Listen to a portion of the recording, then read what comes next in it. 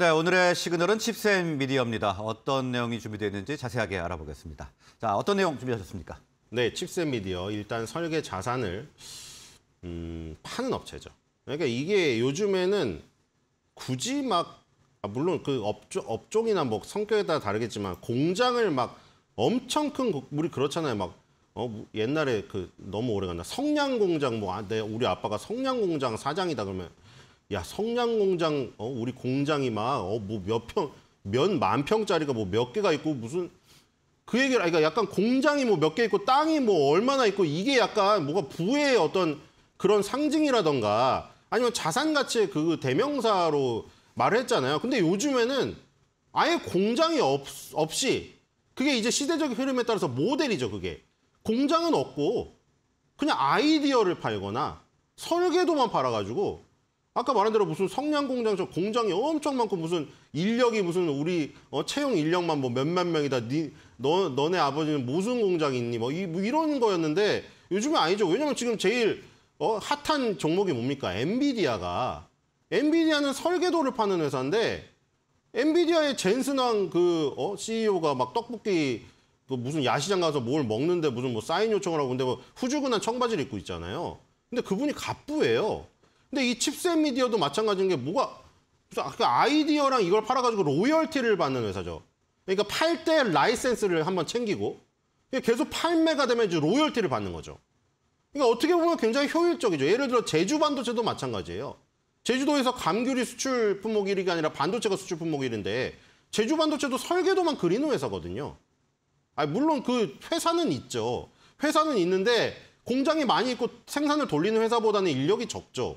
그러니까 이런 칩셋 미디어나 이런 회사들 이런 모델들이 굉장히 각광을 받고 있는 회사죠. 근데 지금 이 반도체에 들어가는 영상에 관련 관련 관여하는 IP 비디오 코덱을 파는 회사예요. 이 회사는.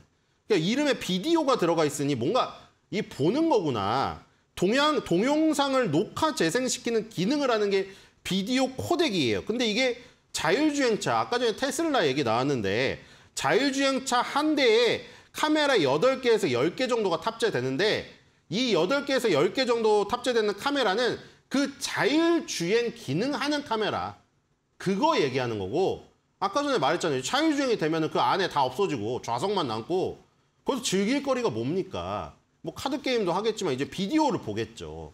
그럼 거기에 들어가는 또 카메라가 또 있죠. 그러니까 이제 전장용 카메라라고 하는 게 자율주행을 위한 기능성 카메라에다가 우리가 안에서 즐기는 infotainment용 카메라 이것까지 늘어나기 때문에 이 car infotainment 시장이 확대되면 비디오 키, 코덱 기술 적용 범위가 확대되는 거예요. 칩스앤미디어가 라이센스료랑 로열티를 받을 곳이 더 많아지는 거죠. 그 다음에 지금 서버, 데이터 센터에서 쓰는 서버 그것 때문에 지금 엔비디아가 뜬 거 아니에요. 소비자용 시장은 죽었는데 엔비디아는 서버용에서는 CPU가 필요가 없고 CPU가 안 되고 인텔의 CPU는 안 되고 다 지금 그 그래픽 카드 NPU가 필요하기 때문이에요. GPU가.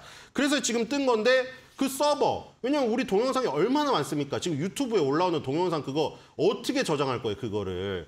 그거를 저장하려면 전부 다 서버가 서버의 용량을 늘려야 될 것이고 그다음에 우리 화상 회의 엄청나게 많이 하죠. 메타버스 지금 가상현실 세계 생겼죠. 그런 게 다 뭡니까? 비디오 눈으로 봐야 되기 때문에 비디오 코덱이 지금 활약할 공간이 너무나 넓어졌다.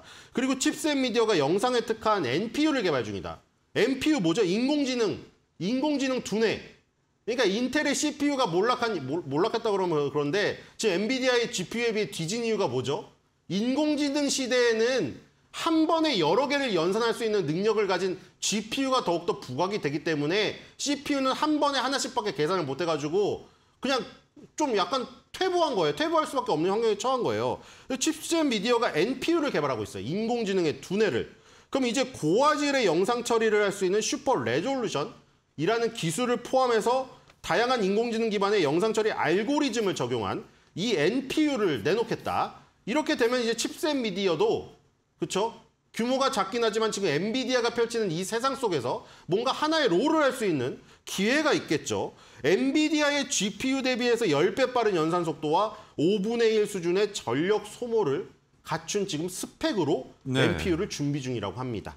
그래서 칩셋 미디어는 아까 말했듯이 큰 공장이나 많은 인력 없이 어떤 설계 이 자산 아이디어를 파는 굉장히 효율적인 회사인데 지금 시대적으로 아주 호황기를 맞을 수 있는 흐름이 다가오고 있다. 이렇게 보시면 될 것 같습니다. 네, 칩센 미디어는 지금 NPU 개발로 주목을 받고 있는데요. 관련해서 가격 전략도 좀 간단하게 보겠습니다. 네, 고점 돌파에 성공을 했고요. 그 고점 돌파는 역사적 신고가를 갔습니다. 지금 칩셋 미디어 역사적 신고가예요.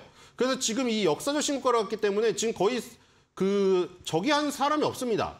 손해 본 사람이 극히 일부겠죠. 지금 3만 500원에 만약 산 사람이 있다면 주당 한 1,000원 정도, 1,500원 정도 손실인 거예요. 천, 1,000원이 아니죠. 600원 손실은 600원. 맞나요? 500원 손실군요. 아, 600원이군요. 맞나요? 계산을 더하기 빼기 못하겠어. 어쨌든 이 고점과 고점을 연결한 추세선을 보면은 그 부분에서 딱 맞아 떨어졌거든요. 이럴 때 한 번 눌러가지고 이 위에 공간을 번 거죠. 예전에 한 번 얘기 드린 이 얘기 그 있는데 저기 있는데 미끄럼틀 통을 올라갈 때 생각해 보시면 돼요. 내가 거기서 바로 처음에 올라가면 머리 박죠. 그럼 어떻게 해요?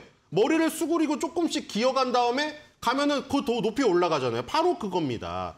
고점 추세선에 부딪혔지만 약간 눌림목을 주면은 위가 열리니까요. 왜냐면 고점 추세선은 상향하고 있으니 위가 더 열리는 거죠. 그럼 이번에 올라갈 때는 3만 원 이상을 다시 찍어서 월의 종가상으로 3만 원 돌파할 가능성이 지금 보이는 겁니다.